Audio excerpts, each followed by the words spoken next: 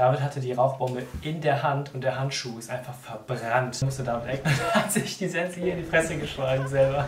Scheiße nochmal. Jo, das ist geil.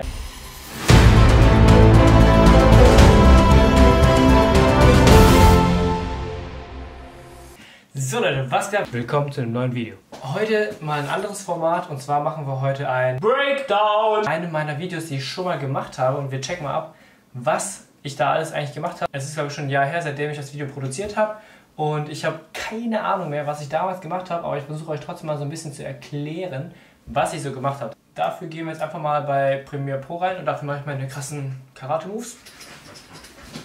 Das Projekt ist Glow in the Dark. Checkt einfach unten in der Beschreibung den Link. Das Video ist bei Blackout auf dem Channel. Sören läuft hier ein bisschen durch die Gegend, durch den Wald. Color Grading ist ziemlich happy.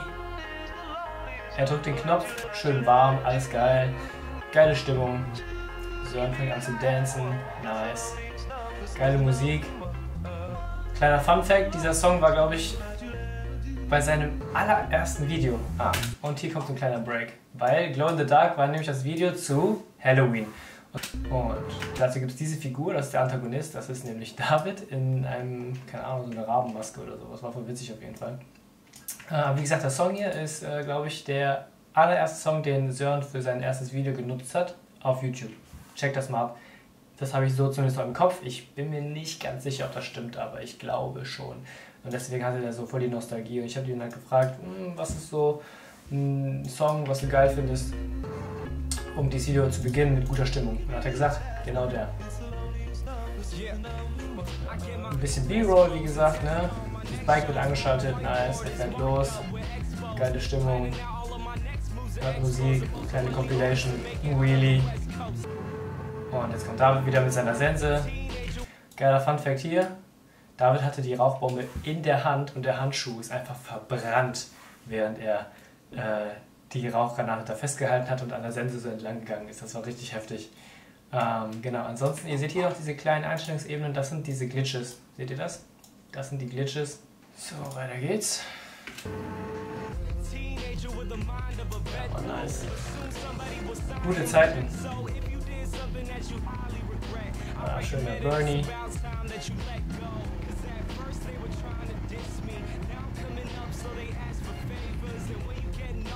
Noch ein geiler Wheelie. Und boom.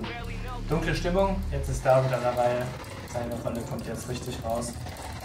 Die Sense mit der Transition. Nice. Die Transition war, glaube ich, auch richtig anstrengend. Ich weiß gar nicht mehr. Hat auf jeden Fall viel Zeit gekostet, die zu machen. Weil die halt über mehrere Ebenen ging und so weiter. Äh, boom. Ja. Ah, nee, ich habe es anders gelöst. Nicht mit mehreren Ebenen, sondern tatsächlich einfach nur mit einer weichen Blende und einem Glitch. Krass, ja. Ich habe nämlich äh, zwei Shots gemacht. Ich suche euch mal eben das Behind the Scenes dafür raus, Leute. Da ist es, Leute. So, also das ist das Behind the Scenes von dieser Szene eben. Ähm, also Sören fährt hier so vorbei. Wir haben das, Ahnung, 10 Millionen Mal gedreht, weil es halt nie richtig geklappt hat.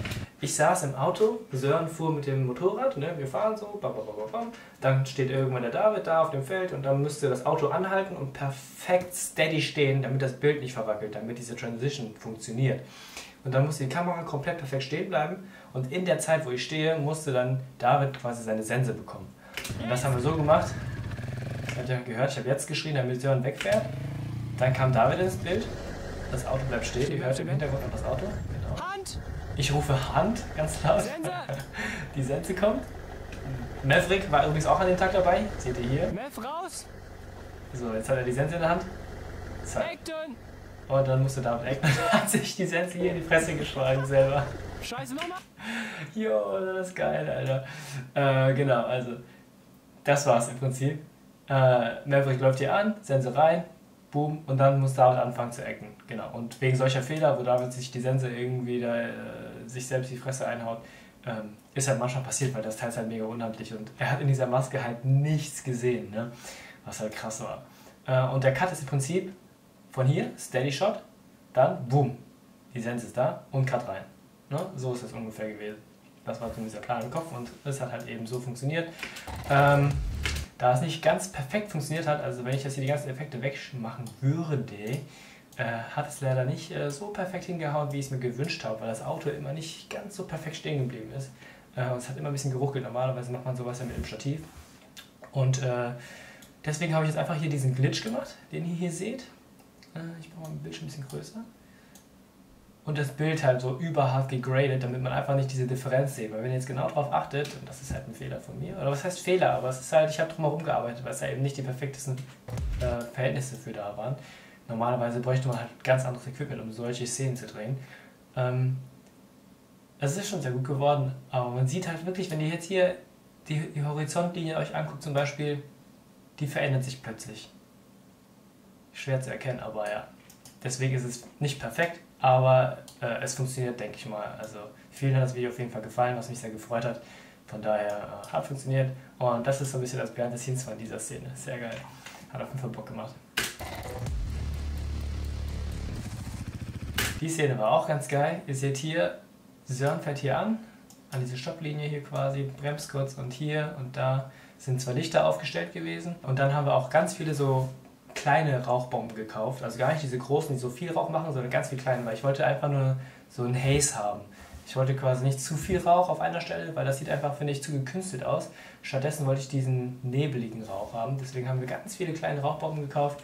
Und ich glaube, wir haben da an der Stelle irgendwie 7, 8, 9 oder 10 Rauchbomben einfach hingelegt und äh, angemacht. Ein paar Szenen während der Fahrt mit dem Rauch und so, auch geil. Das haben wir geshootet, indem wir, äh, ich habe einen BMW 318i glaube ich, ja. Äh, und äh, da hat oben ein Fenster. Äh, da hat sich der Maverick reingestellt und Licht von oben gehalten und ich bin aus dem Rück äh, Beifahrer, glaube ich, raus und habe äh, die Kamera gehalten. Over Shoulder und pfiuh, nice. Hier beginnt die Illusion, Leute falls es euch noch nicht aufgefallen ist, äh, es geht ja eigentlich um den Merch von Sören in diesem Video. Diese Szene haben wir auch so aufgedreht, weil es echt schwer war, diese Maske von Davids Gesicht zu schlagen.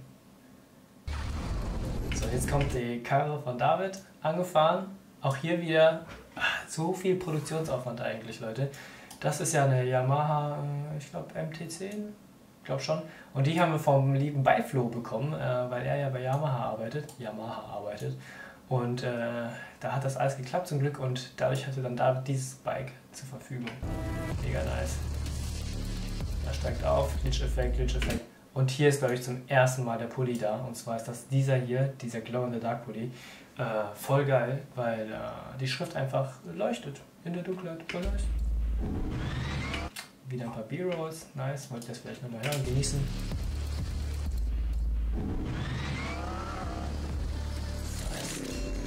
Jetzt gibt es so eine Art Verfolgungsjagd im Wheelie, ist ja klar. Verfolgungsszenen.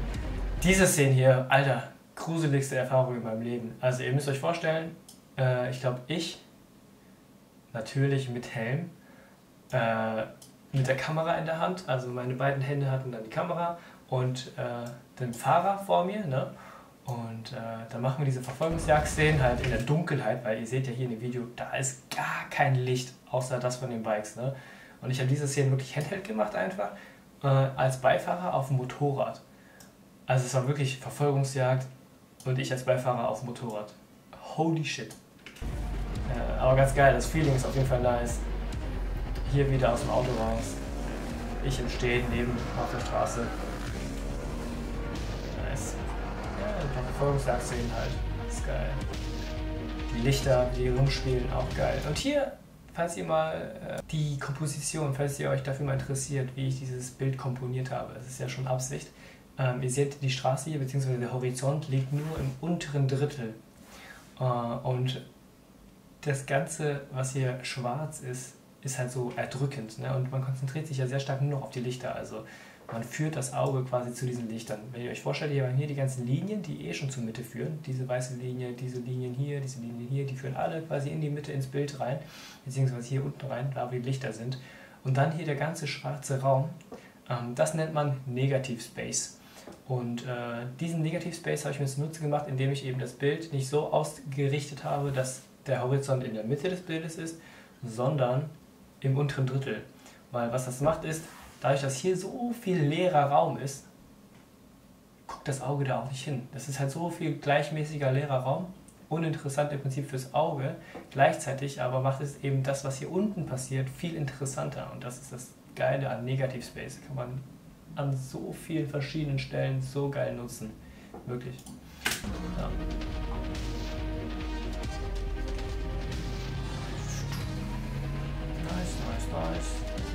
Wheelie-Szene, nochmal eine geile Verfolgungsszene. Mal von der Brücke oben. Eine Scheißszene während der Fahrt, auch immer schwierig aufzunehmen, diese Close-Ups während des Fahrens. Dieses, ich weiß nicht, ob Leute das so richtig registrieren eigentlich im Video, wenn die das sehen. Aber ich gebe mir da auch immer richtig Mühe, dass ich diese Szene natürlich naile. Und zwar Kupplung ziehen, schalten, Kupplung los, go. Ja, also das ist einfach fürs Feeling. Ich einfach geil. Das, einfach, das fühlt sich einfach gut an. Da war es doch schon mit den Fahrszenen eigentlich. Und jetzt geht's rüber in diese Lagerhalle. Auch einer meiner Lieblingsspots. Und da kommt dann da schon der David. Zack. Wieder seine Transformation. Oh, was war das denn? Da fehlt, glaube ich, einfach eine Videodatei. Scheiße.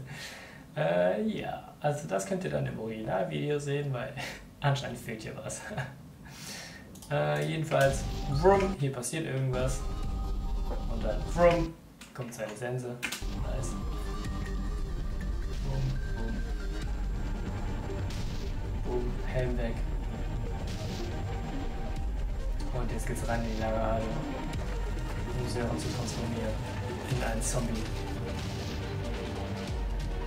Nice. Ja, also wie gesagt, ich vergesse auch niemals diese Establishment-Shots hier. Das ist auch, auch vom Feeling her. Man ist in dieser Lagerhalle und da ist so dieses, keine Ahnung, was das dieser Propeller da, voll geil. Und dann der Schatten davon vom Mondlicht. Chocosel. Mega nice. Ja, hier auch, ne, am Licht läuft einer vorbei, zack.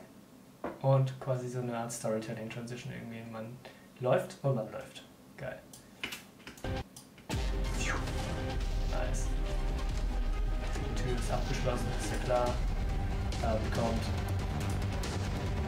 seine, seine Zombie-Boys. Und dann kommen die bam. Und jetzt wird Israel hingerichtet. Nice. Flash. Fun Fact: Hier unten lag eine Matte von mir, die ich mitgebracht habe. Ah, nee, nee, nee, nee, sorry, gar nicht. Ich laber Scheiße. Hier lag äh, eine Matratze von Sören und äh, David. Äh, und die haben sich richtig aufgeregt, dass die dreckig geworden ist. Aber ist ja klar, weil die Lagerhalle halt fucking dreckig ist. Nice. Hier steht Sören auf. Steht Sören auf. Diesen Shot haben wir einfach rückwärts gedreht, indem er einfach gefallen ist und so geguckt hat. Und dann habe ich das in Post-Production einfach rückwärts gemacht. Dadurch ist die Software aufgestanden. Easy. Dann noch ein kleiner Merch-Porn, würde ich mal sagen, vom Glow in the Dark Pulli, der übrigens echt geil ist. Also den feiere ich sehr hart. Feel the Dark, mega nice. Ja, ja, ja, geil. Also einfach basic ein paar Shots. Nee, ja, richtig geil. Und einmal auch ohne Glow in the Dark Effekt, also mal so in live, wie es wirklich aussieht. Nice. Und dann gibt es hier nochmal so einen kleinen äh, Aufhänger, weil hier endet die Story wirklich. Und zwar endet die Story auf der Straße, falls ihr euch zurückerinnert, an der Stelle, wo David Sören quasi erschlagen hat. Ganz am Anfang, wo er verschwunden ist. Das ist eigentlich so die Story, die da endet. Naja, und dann sind wir nochmal in Action. Das Team. Mayo war übrigens auch dabei, hat auch geholfen. Äh, Flo nicht zu vergessen, der ist leider nicht bis zum Ende geblieben, weil er musste nämlich an diesem Tag, an diesem Morgen noch arbeiten. Ich glaube, der musste dann um 6 Uhr wieder Schicht machen. Äh, deswegen ist er früher gegangen, was auch vollkommen okay ist. Er ist echt mega lang geblieben. Dickes Dankeschön an alle, die geholfen haben. Ähm, ja. Und könnt euch mal das Gesicht von David, der ist komplett verschmiert mit dieser Haarfarbe, die er zugesprayt hat. Ja, ich, das war das Projekt Glow in the Dark. Äh, ich hoffe, euch hat es gefallen. Ich hoffe, dieser kleine Breakdown, Review, was auch immer, gemischt, hat Bock gemacht, äh, sich anzuschauen. Und äh, wenn ihr mehr davon haben wollt, vergesst nicht zu liken, vergesst nicht zu abonnieren, aktiviert die Glocke, es würde mich mega freuen. Und äh, dann würde ich sagen, sehen wir uns beim nächsten Mal. Bis dann.